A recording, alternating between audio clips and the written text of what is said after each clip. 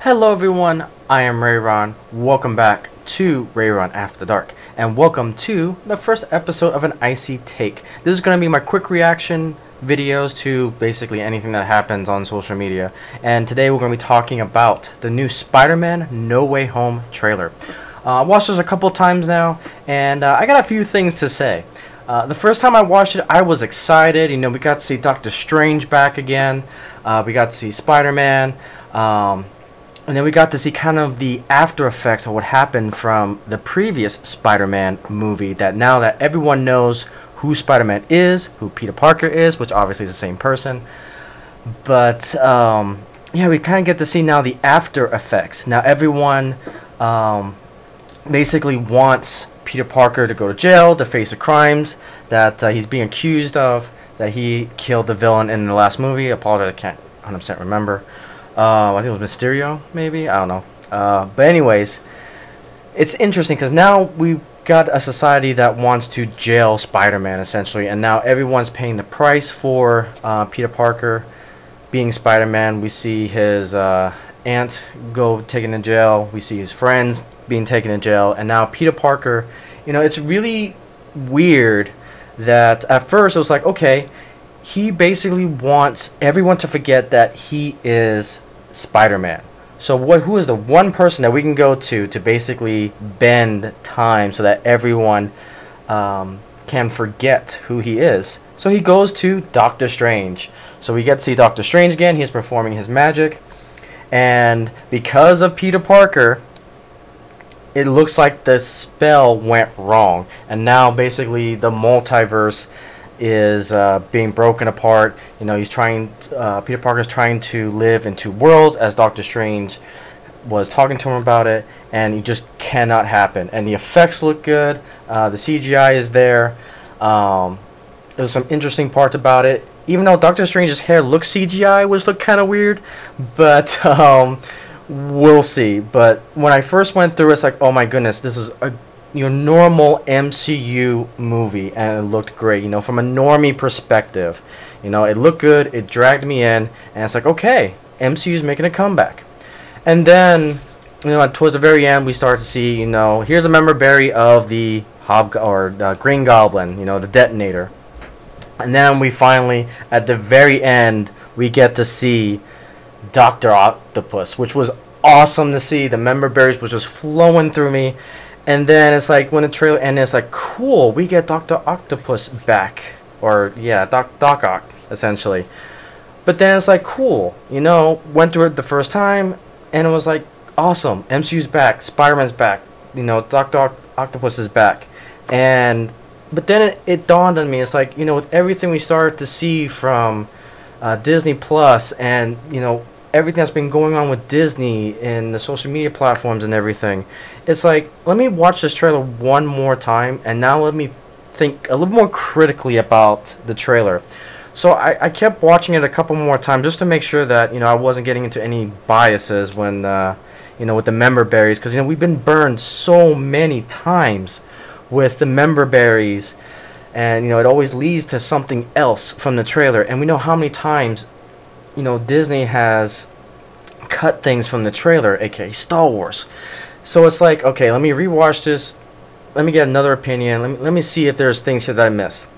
And there was, after the first time I watched this trailer, the first thing that kind of caught my attention was that, wait a minute, Spider Man is kind of not thinking about, he's only thinking about himself.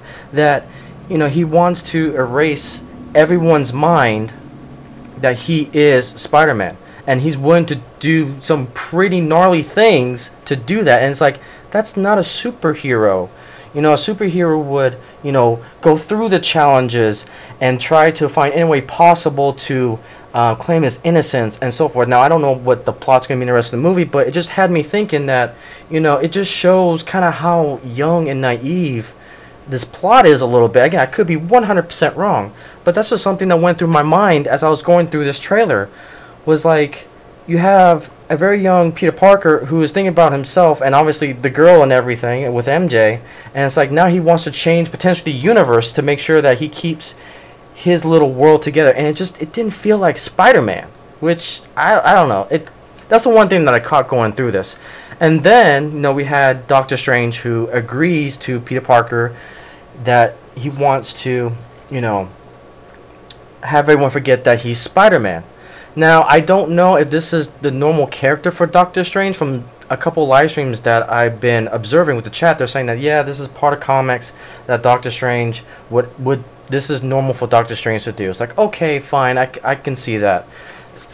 You know, he's definitely kind of the rebellious type of wizard to, um, you know, get get whatever he needs to do done from Doctor Strange the movie. But um, minus that, it's interesting. But there's something else that kind of, you know, I watched the trailer all the way through again. It's like there's still one thing that kind of still is left unquestioned. What are the effects of this? And again, this is just a trailer. We'll probably see more later down the road. And then, you know, when the movie comes out, we get to see the full aspect of it. But my greatest concern about this trailer that really caught my eye is that, okay, Doctor Strange and Spider Man created, you know, the universal multiverse of madness. You know, we're probably gonna see that in the next Doctor Strange movie. But my biggest concern about this is who in the world is going to fix this now potential issue that Spider-Man and Doctor Strange has created. You know, the trailer just showed me that the superheroes caused the issue. Are they now the villains? So it's like there's, there's many questions to ask because it's like it's really weirdly presented that Peter Parker in his own selfless actions of wanting everyone to forget who he is, now created the threat of this whole potential plot. So it's like our Avengers, our superheroes have now caused a multi-dimensional break in time. That seems like they're the villain to me.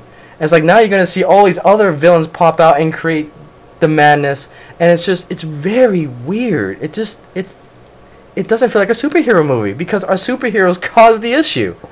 So I don't know. It's uh it's definitely interesting to see.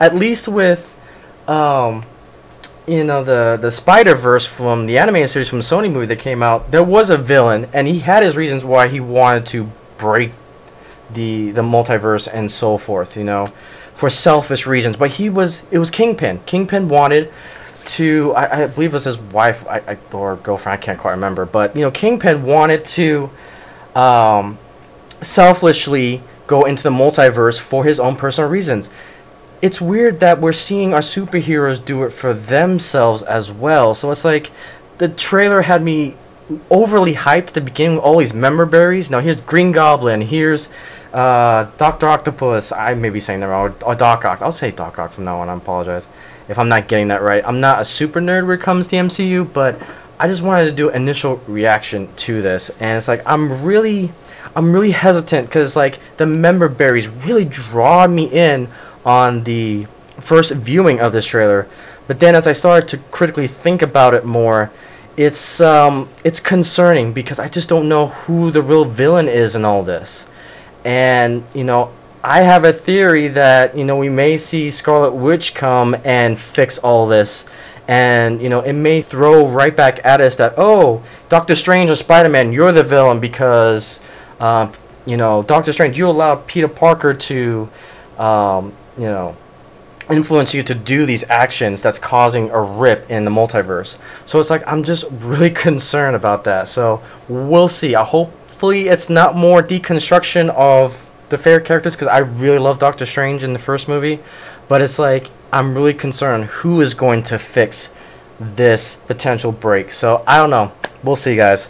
But um, I just want to throw that video out there because I don't know. I may be the only one who sees this. I may be the only one with this take, but uh, I hope I'm wrong. I hope this movie is great because it does look good.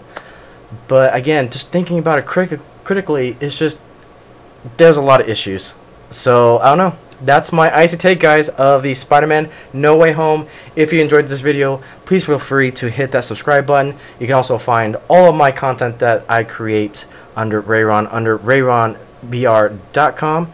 And I'll see you guys on the next one. Thank you guys for listening, and have a great day.